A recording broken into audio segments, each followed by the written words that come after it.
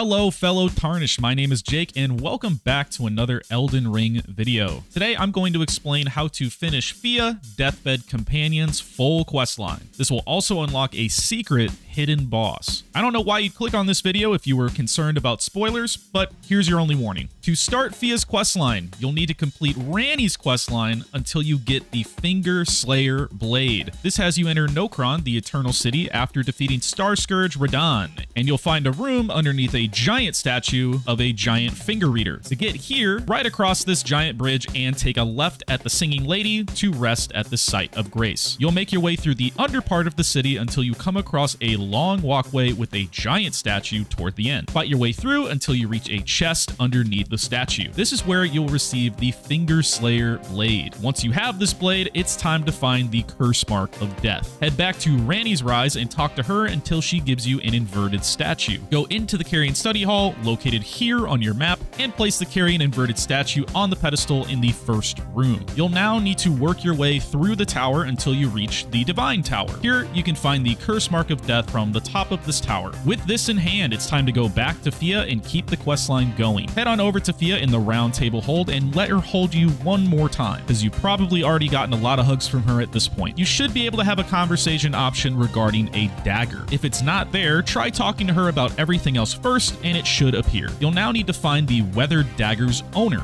The good news is that they aren't very far away, as the owner D is just sitting in the other room. Now, this questline will spell the end of Mr. D, so make sure you've talked to him as much as you want before going over and handing him the dagger. Rest at the round hole Site of Grace, and you should see that D has disappeared. Now, if you go past the blacksmith Hewg, you'll see that the door on the top floor at the back behind him is now open. Go into this room and you will find Fia there and you can talk to her. Exhausting her dialogue will have Fia go off on her own journey, and it means it's time for you to continue yours. Fia will now move to the deep root depths. This is an area you can get via the aqueduct in Nokron. To get here, head over to the ancestral woods Site of Grace. From here, head northeast and up until you spot some jellyfish. You need to follow this path and drop down and you'll find the aqueduct facing cliffs site of Grace. This entire area is sort of a mini dungeon that ends with a fight against two massive gargoyles. Definitely not an easy fight.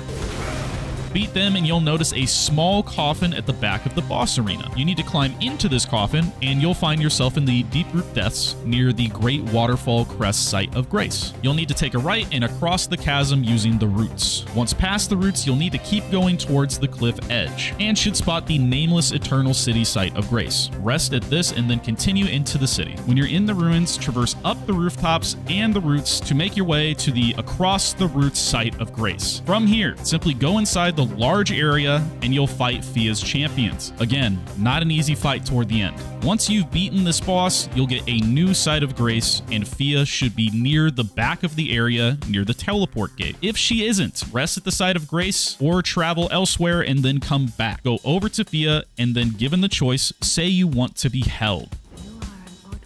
From here, keep talking to Fia until you give her the curse mark of death, which you already got in your inventory because I told you to get that earlier, and you can thank me now. You will now need to go back to the Site of Grace and rest, then talk to Fia again. Repeat this until you're unable to talk to her because she's decided to take a nap from giving out so many hugs to dead people. You'll be able to interact with Fia, and you can then enter the Deathbed's Dream. Doing so will lead you into a boss fight with the Lich Dragon Fortisax, a secret optional dragon boss. Once you've defeated this boss, you'll be taken out of the dream where you will find D has killed Fia in her sleep. He gloats over her body, seemingly losing his mind, and you can do with him as you wish. This is just a side note. If you do choose to kill him, you'll receive his armor and his weapon. You can also grab Fia's armor set on her body. This will then complete Fia's questline. Thank you guys for watching. If you enjoyed the video and want to see more, leave a like and comment what you would want to see next. And also, don't forget to subscribe to the channel. Thank you guys, and I'll see you in the next one. Peace and love.